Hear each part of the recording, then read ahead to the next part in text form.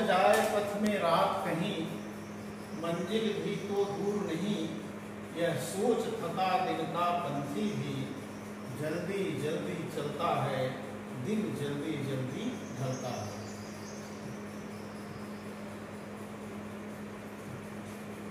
कभी कहता है कि दिन भर चलकर अपनी मंजिल तक पहुँचने की जो चाहत होती है, यात्री इस बात के लिए परेशान रहता है कि वह कितने जल्दी अपने प्रियजन के पास तक पहुँचे। उसके मन में इस बात की उत्कंठा, इच्छा बनी रहती है, ऐसा न हो कि समय निकल जाए। वह अपने समय के अंदर अपने प्रियजनों से मिलना चाहता है। जैसे पक्षी अपने बच्चे से मिलने के लिए साय अंधेरा होने के पहले अपने घोंसले तक पहुँचना चाहती है, क्योंकि उसका बच्चा उसका इंतज़ार करता रहता है। तो कभी कह रहा है कि अपनी मंजिल पर पहुँचने की, जब हम मंदिर, मंजिल के करीब पहुँचते हैं तो हमारे अंदर और तत्परता बढ़ जाती है अपने लक्ष्य तक पहुँचने के लिए। इसलिए वह प्रिय मिलन की कामना से जल्दी जल्दी कदम उठाता है। वह हमेशा इस बात के लिए उत्सुक रहता है कि थोड़ी सी ढिलाई अगर कर देंगे तो हम अपनी मंजिल तक नहीं पहुँच पाएँगे और हमारा जो प्रिय है, जिससे हम मिलना चाहते हैं, वह ऐसा न हो, उससे हम न मिल पाएँगे। इसलिए कब कह रहा है कि हम अपने जो पक्षी जो है, अपने पर को, अपने पंखों को बहुत तेज़ी के साथ चलाता है कि बच्चे प्रत्याशा में होंगे, नीड़ों से झाँक रहे होंगे। छोटे छोटे बच्चे, आप इसमें चित्र में देख सकते हैं कि अपने माँ से मिलने के लिए बहुत ही उत्कट विकल है, परेशान है कि मेरी माँ मेरे लिए कुछ ला रही होगी अब आ रही होगी। और यही इसके मिलने की जो चाहत है, वो पक्षियों के पर को और चंचल बना देती है। बच्चे प्रत्याशा में होंगे, इस आशा में होंगे, इस विश्वास में होंगे, नीड़ों से झाँक रहे होंगे। अपने घोंसले से बहुत ही अपने माँ से मिलने के लिए देख रहे होंगे, राह निहार रहे होंगे। यह ध्यान परों में, परमाने पंखी, यह ध्यान परों में चिड़ियों के भरता कितनी चंचलता है। वह और अपने पंखों के दिन भर थकी है, लेकिन बच्चे से मिलने की जो उसकी प्रत्याशा है, इच्छा है, और बच्चों की जो अपने माँ से मिलने की इच्छा है, वह उनके पर को और चलायमान कर देती है। कितनी चंचलता है, दिन जल्दी जल्दी ढलता है। और दिन, समय समय जो है कभी इसमें समय की बात कर रहा है कि समय व्यक्ति का बहुत जल्दी चला जाता है। इसका अगर आध्यात्मिक तौर पर देखिए तो व्यक्ति अपने जीवन में समय कम रहता है। धीरे धीरे समय इतनी जल्दी पड़ जाता है, आदमी बच्चा से जवान होता है, जवान से बुढ़ा हो जाता है, फिर जाने की उसका नंबर आ जाता है।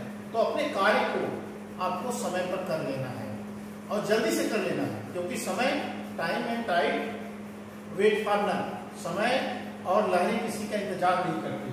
कभी कहता है कि एक चिड़िया जब शाम को अपने घोंसले की वो वापस आ रही होती है तो उसके मन में यह ख्याल आता है कि उसके बच्चे उसकी राह देख रहे होंगे, उसको निहार रहे होंगे, इंतज़ार कर रहे होंगे।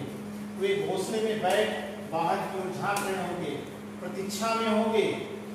जैसे ही चिड़िया की चिंता उसके मन में आती है कि मेरे बच्चे इंतज़ार कर रहे होंगे, वह उसके पर और भी चलायमान हो जाते हैं। व्यक्ति जीवन में भी इसी प्रकार से जब आपको अपना लक्ष्य पता चल जाता है तो आप और भी गतिशील हो जाते हैं। आपको अपने लक्ष्य के प्रति आपकी चंचलता बढ़ जाएगी। आपके कार्य करने की क्षमता बढ़ जाएगी। जैसे कि चिड़ियों में होता है, चिड़िया को पता चल जाता है तो वह और चलायमान हो जाती है। तो इस प्रकार से कवि जो है, मुझसे मिलने को कौन विकल्प मैं हूँ किसके हित चंचल? कवि कह रहा है कि कौन मुझसे मिलना चाहता है? और मैं किसके लिए विकल हो जाऊँ, परेशान चंचल हो जाऊँ वहाँ तक पहुँचने के लिए? जब तक आपको ये पता ही ना हो हमसे मिलना कौन चाहता है? आपका लक्ष्य क्या है? आप क्या करना चाहते हैं? तब तक आपके अंदर कार्य करने की जो क्षमता है, वह नहीं कर पाएगा। यह प्रश्न शिथिल करता पत्र जब आपका लक्ष्य निर्धारित नहीं होगा, निश्चित नहीं होगा, आप शिथिल पड़ जाओगे। आपका लक्ष्य है, आगे बढ़ने का आपको आई बनना है, डॉक्टर बनना है, इंजीनियर बनना है तो आप अपने लक्ष्य के प्रति और तत्पर हो जाएँगे, जैसे कि चिड़िया जो है तत्पर हो जाती है। वह हमेशा चलायमान रहती है, हमारा बच्चा इंतज़ार कर रहा होगा भरता पूर्व में बेहवलता है बेहवल हो जाता है, उसके हृदय बेहवल हो जाता है। आपको अपनी चीज़ पाने के लिए, लक्ष्य पाने के लिए आपका जो टारगेट है, वह पाने के लिए आप एकदम बेहवल हो जाएँगे, परेशान हो जाएँगे, हैरान हो जाएँगे। दिन जल्दी जल्दी, समय जो है बहुत तेज़ी के साथ बढ़ रहा है। समय जो है रुक नहीं रहा है। जैसे कहा गया है कि water cannot be touch twice in flowing बहते हुए जल को एक बार में दो बार नहीं छुआ जा सकता टच किया जा सकता है। इस तरह से दुनिया में कोई मेरा अपना नहीं है जो मुझसे मिलने के लिए व्याकुल हो। फिर मेरा चित्त क्यों व्याकुल हो? इसी के लिए क्यों चंचल हो? आपका जो लक्ष्य ही आपको पता नहीं है तो आप किसके लिए चंचल हो? जैसे कि कब क्या है मुझसे मिलने के लिए मैं किसके लिए व्याकुल हूँ? क्योंकि कवि के जीवन में कुछ ऐसी घटनाएँ घटी, जिस जिस समय इस कविता की रचना कवि ने किया और अवसाद की स्थिति में था। मेरे मन में इसके प्रति क्यों प्रेम तरंग जगे? ये प्रश्न मेरे कदमों को शिथिल कर देता है। व्यक्ति हताशा और निराशा की स्थिति में तब बनता है जब उसका लक्ष्य निर्धारित नहीं होता।